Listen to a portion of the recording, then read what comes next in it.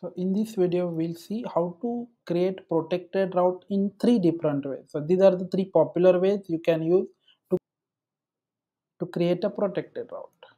So I have created this application using Vite.js. You can see it's running on this URL. Let me walk you through this. So this app component, we are using browser router and these are the various components I have created home login orders count cart payment and that's it. So these are all the components. Inside components folder these just display some heading. So you can see this is home home page this is login page this is order page and this is the payment page. So i can this is the home page so you can see home page is displayed. When i go to orders you will see orders page. When I go to payment you can see payment page. So now I want to implement the protected route. So these login and slash are public routes so anyone can access. But order, payment and cart these three routes should be private. So only if you are logged in I should be able to access this route. So how can you do that? So for that I have declared a state is logged in state and in the login component you can pass that function update status so i'm updating that particular value of is logged in by passing it to login component as a prop. So whenever i'm logged in i will be set calling this function which will change that is logged in value from false to true. So here i am using updater function syntax. So if the current value is false it will become true and if it's true it will become false so now i have this is logged in flag which i can use to identify and show whether that page should be rendered or not. And also note that i am using react router dom version 6 so this is all version 6 code so which is the latest version. So now here i can add the condition. So i can render this conditionally. So if is logged in then only display this component otherwise i can use the navigate component from react router dom. You can see it's imported and i will redirect to the home page. So if i am logged in then only i will be able to see orders page. Otherwise i am i will be redirected to the home page. So right now is logged in value is false. So let's try to access the orders page. You can see I am redirected to the home page because I am not logged in. But let me change this to true now. And if I try to access this order page, now you can see its order page correctly getting displayed. So this is the one way you can use to add that protected route. So you can add this condition for all of the components and can add it here so this here let me copy. Mm, this will be payment.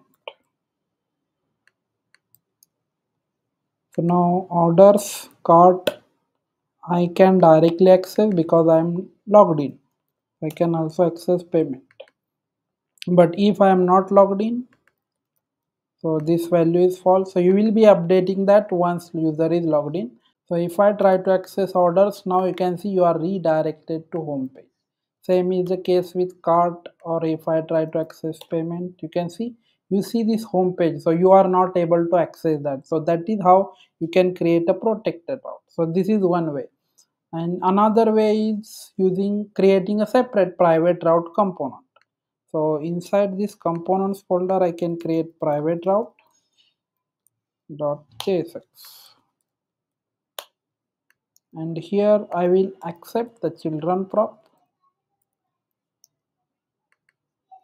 And also is logged in prop. So if user is logged in then only i will render this children. Otherwise I will again navigate to equal to slash so you can see this private route component if I am logged in then I will render the children otherwise I will redirect. So now what is children? So this private route I will I can use it here. So this is for orders.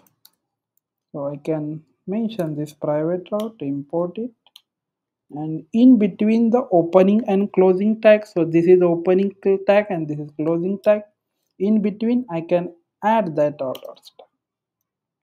So now this orders component will go as a children prop inside the private route component. So if I am logged in, I am rendering that children prop that is orders page. So now I also need is logged in because that is also prop I am accepting. So now this is now this prop is going to private route as a prop you can see.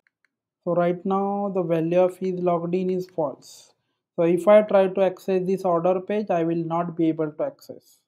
So if I go to orders you can see I am redirected to home page. So this is another way you can use so either this conditional directly or you can use this way of creating a private route and render this children. So here whatever you add that will go as a children. So I can also display h3 here so this will also go as a children. So when I try to access orders right now, I will not be able to access. But if I make it true, so now I am logged in. So when I try to access orders, you can see orders page is displayed and hello, the text is also displayed.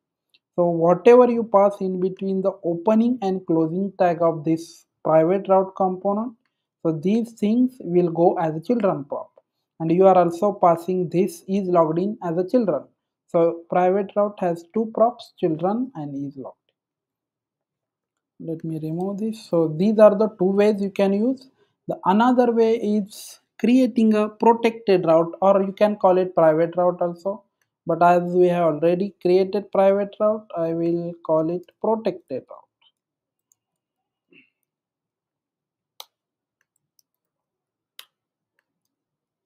now what this will be the case? So you can see with either this or this way the code is getting complicated. So you are repeating the same thing again and again. So what you can do is you can create a route component here.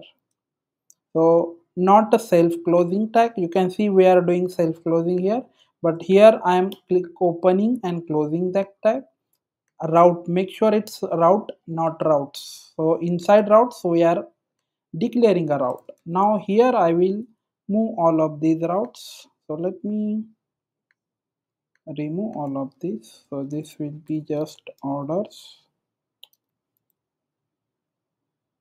Let me add it in between here. This will be orders. This will be cart this will be payment. Now I don't need these routes. Now for this route I can add element prop. And here I can say protected route. Now this is another way you can use to declare routes. So now this private route component will always render. And here you have this order slash order slash cart slash payment route. So now inside this protected route you can pass this is logged in now here. Is logged in. So now again inside protected route you can get this is logged in. And here I can check. If user is logged in then whatever I am rendering the route the matching route. So if I am going to slash orders and if I am logged in then I will be rendering that order stuff. So this is known as nested route so inside this protected route we are nesting these routes. So to display the nested routes we need to use the outlet component from react router DOM so if user is logged in we are rendering whatever we are passing as a route. So whatever route we have defined we are accessing that will be rendered using that outlet. And if user is not logged in then i will again navigate. So now this is a protected. So now this protected route so whenever i try to access slash orders or slash cart or slash payment this component will always gets executed and we are passing is logged. Here what i am doing so whatever route i am passing that will get displayed. Otherwise i am redirecting to the slash route. So now right now the value of is logged in is true. So right now i am logged in. So you can see you see this orders page if i try to access cart you can see cart is also getting displayed so now if i make this false and if i try to access orders you can see you are not able to access. You are redirected to the home page. So same is the case with payment. So if i am not logged in then i cannot access any of these routes. So these are all nested routes nested inside this protected route. So if you want to render anything which is nested you use this outlet component which is coming from react router so if you are not aware of react router these outlets and all other things you can check out the link in the description for my react router 6 crash course. So here we have one more thing. So here i have added not found route. So if you are accessing some route which does not exist you will be redirected to home page. So this is a good thing. So if you want to uh, if user try to access some invalid route let's say slash help he will be redirected to the home page. So he will not see the blank page. So if i don't add this then if i try to access help you can see you see this blank page which is not a good user experience. So whenever you are defining routes always make sure you add a new route with path equal to star and element equal to you can display some component page not found or you can also navigate to slash. So this route you can declare as the last route. So if any of the above paths does not match this component will be executed and whatever code you have written that will be executed. Here we are just redirecting to slash. You can also create a not found page component and display that page not found. So you can do that. So these are the three ways you can use to protect your routes and implement the protected route functionality. So you can either directly add condition here or you can use this private route or you can use this protected routes by nesting these routes. So this makes your code simpler. So all these are now public routes outside and all these are now private routes so if you want to make any other route as private you add it just here. So inside this route you can add any other route that you want to make it private. So only if i am now logged in then only i will be able to access that route. So that's it for this video. If you found it useful do like it and don't forget to subscribe to the channel